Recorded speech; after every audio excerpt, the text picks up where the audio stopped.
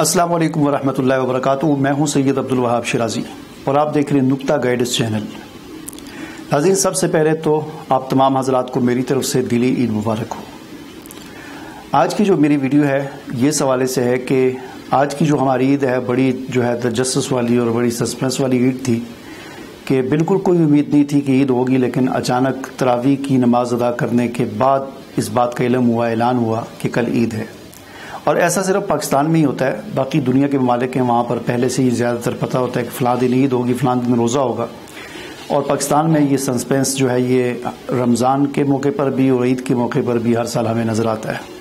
और बाद इस पर मज़ा ही बड़ा आता है कि आदमी को कोई उम्मीद नहीं होती कि ईद होगी, लेकिन ईद हो जाती है। और कभी इंसान को बड़ी उम्मीद होती है कि कल ईद है, लेकिन पता चलता है कि नहीं, ईद नहीं है कल।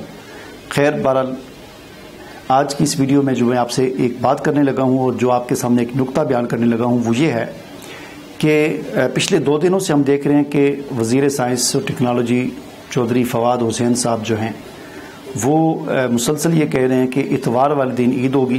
पूरी दुनिया में, दुनिया के तमाम इस्लामी मालक में, पूरी दुनिया के मुसलमान इतवार वाले दिन ईद मनाएँगे, लेकिन पाकिस्तान में पीर वाले दिन ईद होगी, इतवार को नहीं होगी।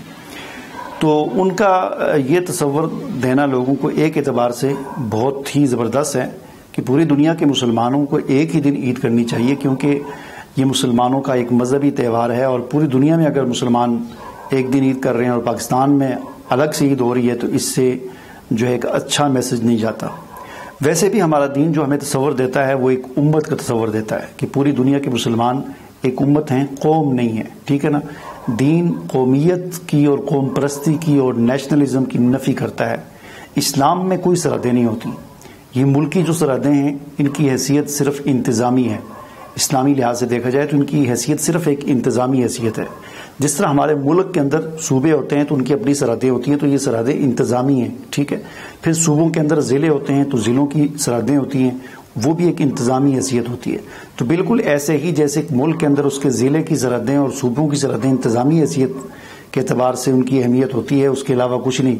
इसी तरह इस्लामी मालक की जो सरहदें हैं, ये भी एक इंतज़ामी हैसियत रखती हैं, इसके अलावा कुछ नहीं। क्योंकि कुरान मजीद हमें जो तस्वर देता है, वो वो ये है कि इन नमलमिन इखवा, तमाम ईमान वाले, तमाम मुसलमान आपस में भाई भाई हैं। और वैसे भी दीन हमें उम्मत बन के रहने का और उम्मत का जो है, वो तस्वर देता है। नेशनलिज्म इसकी इस्लाम में जो है इसकी कोई यानी, कह लें कि इसकी, इसको अहमियत नहीं दी जाती। कौम परस्ती को कौमियत को और मुल्की सरहदों को इस एतबार से कि वो कोई और लोग हैं, हम कुछ और लोग हैं, इसकी इस्लाम में कोई हैसियत नहीं है। तमाम मुसलमान आपस में भाई भाई हैं। ठीक हाँ इंतज़ामी लिहाज से उनकी बाटरें, सरहदें हो सकती हैं, उसकी उसमें कोई हरज वाली बात नहीं है। ठीक है ना? तो इस नुक़ नज़र से अगर देखा जाए तो ईद और रमज़ान भी पूरी दुनिया में एक ही दिन होना चाहिए। कोशिश ये करनी चाहिए। मैं ये नहीं कहता कि शरीयत के असूलों को पामाल करना चाहिए, बल्कि मैं ये कह रहा हूँ कि साइंस से इस्तेफादा करते हुए, शरीयत के असूलों के दायरे के अंदर रहते हुए हमें ये कोशिश करनी चाहिए कि हमारी ईद और रमज़ान पूरी दुनिया के मुसलमानों का एक ही हो। ठीक है ना? इसमें शरीयत की तरफ़ से कोई पाबंदी भी नहीं है। ठीक है ना कोई इसमें वो नहीं है कि एक ऐलान किसी एक ऐलान से कहाँ तक उसकी कोई हदूद नहीं है कि वहाँ तक तो ईद हो सकती है या रमज़ान हो सकता है वहाँ से आगे नहीं हो सकती। ठीक है? अब ये आ, मेरे ख्याल में आज जो हम देख रहे हैं कि पाकिस्तान समेत बाकी दुनिया के मालक में एक ही दिन ईद हो रही है तो इसके पीछे फवाद चौधरी साहब का बड़ा हाथ है। इस एतबार से कि वो दो दिन अगर रोला ना डालते, शोर शराबा ना करते तो आज पाकिस्तान में शायद ईद ना होती।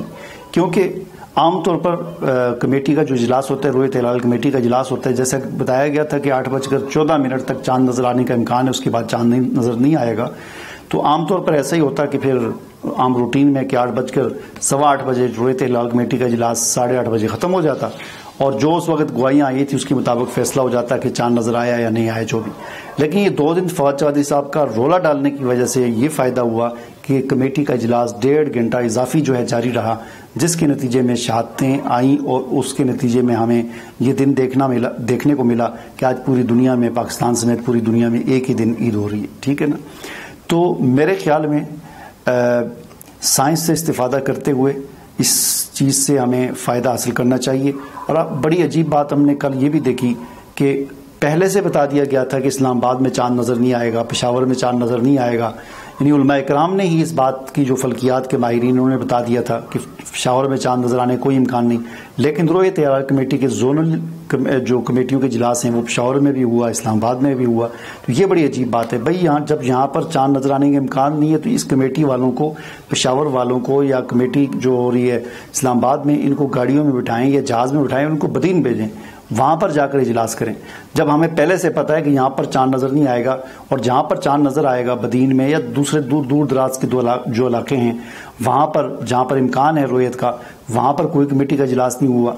तो इस तरह ऐसे इलाकों में कमेटियों के इजलास होने चाहिए और वहाँ जाकर कमेटियाँ जाकर बैठे। ये नहीं कि रिवायती तरीके से बस जहाँ पर है कमेटी, इस्लामाबाद में हर साल बैठती है, हर वक्त बैठती है, चाँद नज़र आए, आने का इम्कान हो या ना हो, इस चीज़ को खत्म करना चाहिए।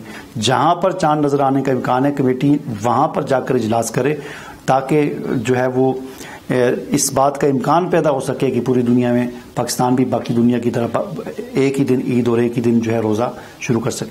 तो इस एतबार से मैं समझता हूँ कि चौधरी फवाद हुसैन साहब का ये दो दिन शोर शराबा करना, उससे ये फ़ायदा हुआ कि आज दुनिया को उम्मत का, एक उम्मत का मैसेज गया। तो मेरे ख्याल में चौधरी फवाद हुसैन साहब इस एतबार से एक अजीम इंसान है।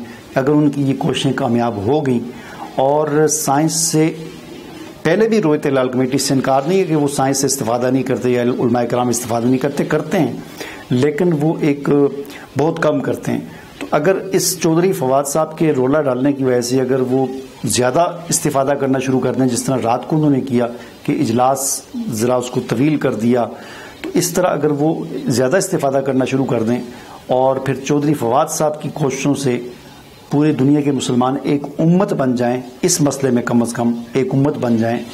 तो ये इस एतबार से आने वाली तारीख में चौधरी फवाद साहब का नाम सुंदरी हरूफ से लिखा जाएगा कि इनकी कोशिशों से बिखरे हुए मुसलमान इस मसले में एक उम्मत बन गए।